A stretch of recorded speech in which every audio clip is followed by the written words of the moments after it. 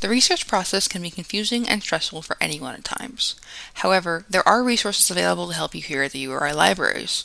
Our reference librarians will help you learn the techniques and skills you need to complete your projects. But how do you get help? There are multiple ways to get help with your research. You can come to the Carothers Library Research Help Desk during our operating hours to get in-person help from one of our qualified staff.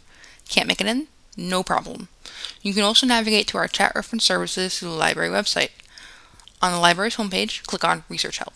Here, you'll find a chat box that allows you to message a live staff member during our open hours. Would you rather talk it out? You can call us at 401 874 2653 and chat with a staff member instead. But what if we aren't open? You can email us too. Send in your question and a librarian will get back to you as soon as they can. Our email is urilibrarian at gmail.com.